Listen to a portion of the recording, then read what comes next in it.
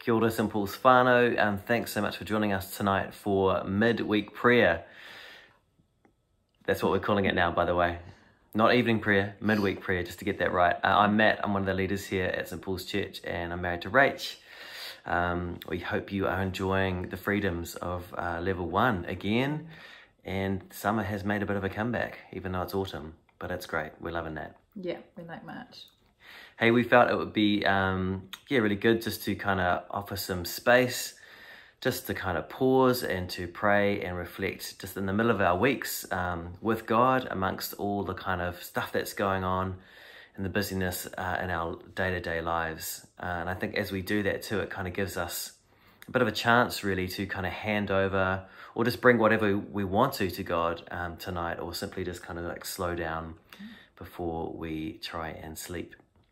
I could probably sleep without doing anything else right now though. Okay, you sleep. I'm ready to sleep. You sleep now. Anyway, the prayers that we use will follow a rhythm and a structure. Um, as usual when we do this, they'll come up on the screen and uh, you can pray obviously any of it because we can't see what you're doing. But if you want to do it kind of with the structure that we've got, you can pray the bits in bold out loud with us or in the silence of your hearts.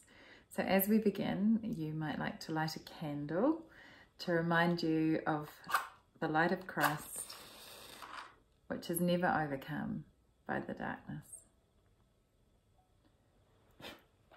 E te whānau. May the light of Christ be with you. And also with you. So let's pray together this prayer of surrender by Richard Foster. Today, O Lord, I yield myself to you. May your will be my delight today. May you have perfect sway in me. May your love be the pattern of my living. I surrender to you my hopes, my dreams, my ambitions. Do with them what you will, when you will, as you will. I place into your loving care my family, my friends, my future. Care for them with a care that I can never give. I release into your hands my need to control, my craving for status, my fear of obscurity. Eradicate the evil, purify the good, and establish your kingdom on earth for Jesus' sake. Amen. Uh, let's just take a moment now to bring to mind or um, to speak out those things that might be burdening our lives or anything today that's kind of caused disconnection with God or with ourself or with others. So let's just do that now in a short time of silence. Uh, let's remember our need for God's healing and for God's forgiveness in our lives each day.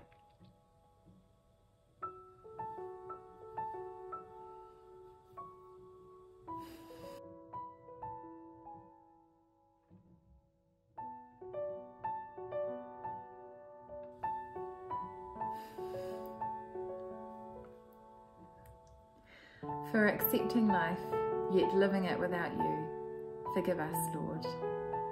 For living without concern for others, forgive us, Lord. For tolerating oppression and injustice, forgive us, Lord. For turning the world to our own purposes and desires, forgive us, Lord. For refusing to love and forgive others, forgive us, Lord. Uh, for all these things, we humbly claim your grace again tonight and we ask that you would continue to make us whole. Amen. Amen. We have a reading from Philippians chapter 4, verses 6 and 7 from the message version.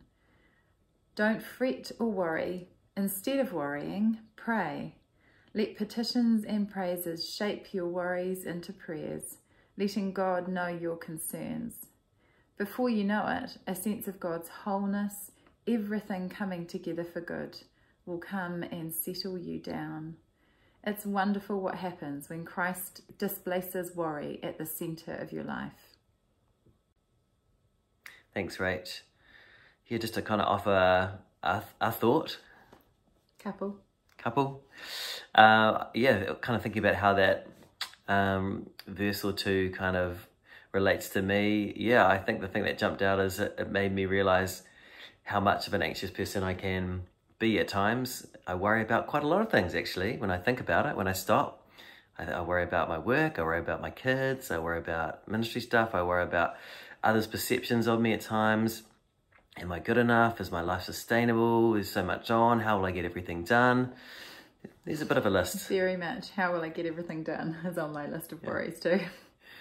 So I guess the question uh, for me in relation to our verse tonight or verses tonight is kind of like what helps give me a true perspective in the midst of all that or what would help kind of reduce or shift some of those anxieties that are going to be there um, regardless and probably um, for the rest of my life at times. What what is the thing what are those things that kind of help settle me down as it said in that passage?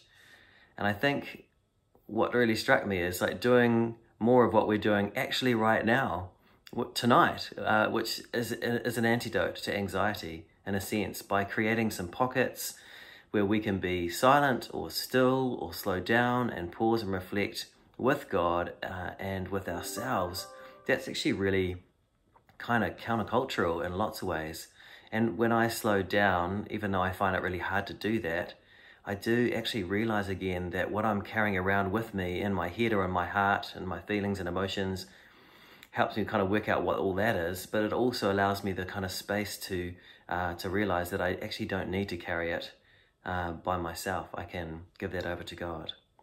So I guess in a nutshell, like prayer and silence um, or and stillness can help us to kind of recalibrate our scattered senses or lives in God's presence. And then I think which in turn kind of starts to produce that inner peace that this passage is talking about, even if what's going on inside or outside of me or you uh, isn't that peaceful. Mm. Yeah, it's funny when you said that we we might use that little passage to reflect on this evening there were a couple of things that kind of came into my mind and what you said is good but it's funny because i'm wired in a way that as soon as someone says don't do this which one of the other translations of that verse is do not be anxious about anything mm. and as soon as i hear that i'm like well i'm going to be anxious you know like it's just don't you tell um, me what to don't you do. tell me what to do i'll be anxious if i want to be anxious um, but i think reflecting on it, and I like the message translation because it has just a bit of a fresh take on it. Mm.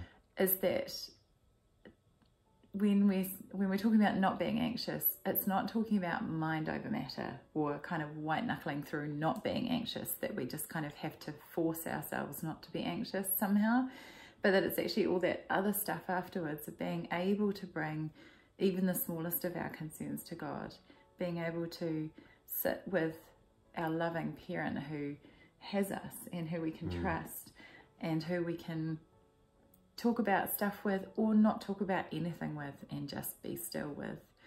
That stuff ends up creating a situation where we don't need to be anxious. It's something that we get to kind of live into, but that's slightly a more helpful way around for me. That's what I was thinking about with it. And yeah, I'm just really trying at the moment to not worry about the outcome of prayer or the outcome of spending time with God, of creating this sort of zen, totally peaceful feeling, but actually just of trying to have the practice of stopping and the practice mm. of that that stuff that you were talking about, that stillness, that solitude, and and not kind of trying to make the not anxious part happen, but just trying to create a space within which I can sit and be with God and probably have random thoughts going through my head half the time and not stress about that, you know? Mm. And that maybe as a byproduct of that, the things that I am anxious about will start to dial down and I will know that God, that big wholeness of God in my life. Yeah. I think that's the hope, and I think that's what a lot of Christians who have gone before us would attest to that that's what does start to happen more and more mm. when we cultivate these kind of ways of new ways of being in the world, eh? Mm. I'm just not all that patient about it though. I want to be not anxious immediately. God, I sat down with you for two minutes. Why am I not anxious? so I guess one way um, you could respond tonight is maybe just take a minute mm. uh, and just think about, you know, what are the concerns that's in your life right now and then just let God know about those concerns mm. and then wait and invite God's response to those concerns. Mm.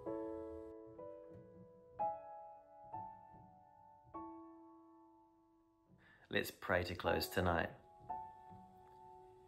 God of peace, as we head into the rest of our weeks, would you calm our hearts and our minds and our emotions? Would you fill us afresh with your spirit of rest and reassurance? And would you help us to choose faith over fear and trust over control? Keep us thankful and hopeful and useful. And we ask this in Jesus' name. Amen. So thanks for joining us tonight or whenever you've joined us. Hopefully it's been a helpful time of prayer, create a bit of space for yourselves. Hopefully you will be able to find some practical ways to reduce anxiety or worry in your life this week and to mm. create some spaces and pockets where you can just be. So we're going to be offering this, um, what's it called again? It's called Midweek Prayer. Midweek Prayer. It's happening sometime in an evening, so I get a bit confused. We're going to be offering midweek prayer every week for the next few months on a Wednesday night.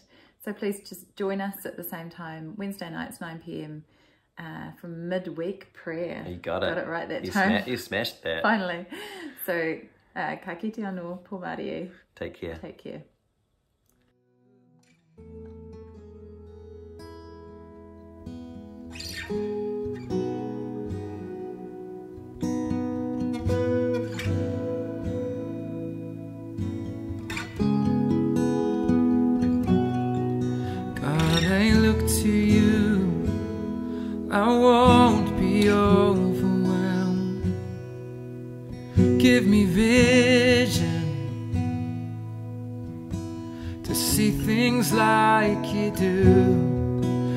God, I look to you.